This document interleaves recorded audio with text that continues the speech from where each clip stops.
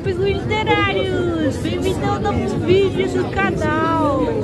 E então, para começar esse vídeo, é, estamos aqui no metrô, mas antes quero falar que vamos conhecer nesse vlog, Book Vlog, uma das maiores bibliotecas da América Latina, a Biblioteca em Fio, é, fundada em maio de 1991, instalada na Biblioteca Infanto Juvenil Viriato Correia.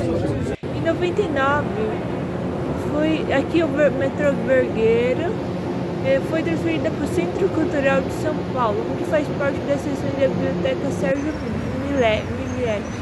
Aí o Centro Cultural, a maior parte do acervo obtido através de doações, conta atualmente com sete funcionários, possui 7.457 títulos com 1.112.373 exemplares. Nas coleções contam gibis, álbuns de quadrinhos, periódicos, revistas RPG, fanzines, recortes periódicos e livros sobre histórias de quadrinhos. É, entre a coleção podemos citar diversas editoras de 1950, 1960, é, Ebal, Rio Gráfica, Editora RG e outras partes do material está disponibilizado para consulta acadêmica. Agora é, é, é eu, eu mostrando dentro do Centro Cultural de São Paulo.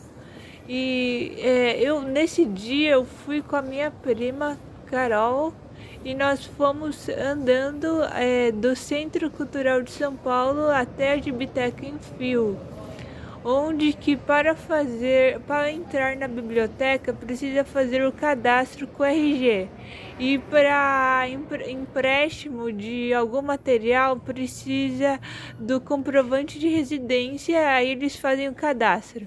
Ou os mangás do Naruto, tem diversos mangás nessa nessa gibiteca. É, a gibiteca possui diversos mangás interessantes, incríveis e eu amei conhecer essa gibiteca em fio dentro do Centro Cultural de São Paulo. Mangás especiais, Aldo Inuyasha.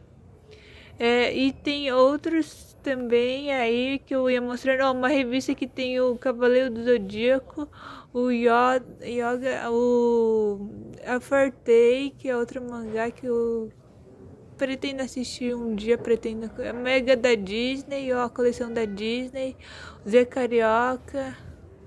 Aí eu fui mostrando a estante do Centro Cultural, mangás em italiano, em japonês. Aí a Carol, e aí eu fui mostrando o, a gibiteca. Essa é a parte da biblioteca do Braille, que eu já fiz trabalho um dia aí na, da Unify. E aí eu mostrando a gibiteca, o, as estantes, os livros, e ó, os quadrinhos da Turma da Mônica Jovem.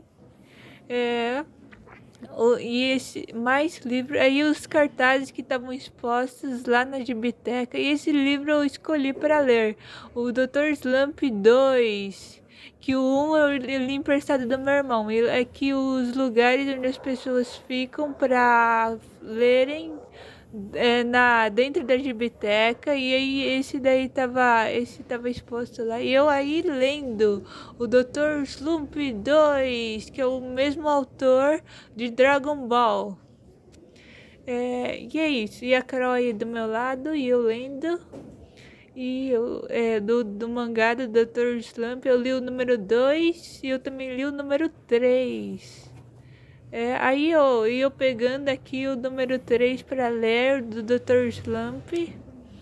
É, e eu lendo o Dr. Slump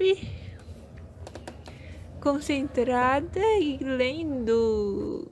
E, eu, e nesse dia eu li o 2 e o 3. E eu terminei o 3. E é isso. Foi o vlog na Gibitec em Fio. Comente abaixo o que achou. É, se você gostou. E é isso. Fui!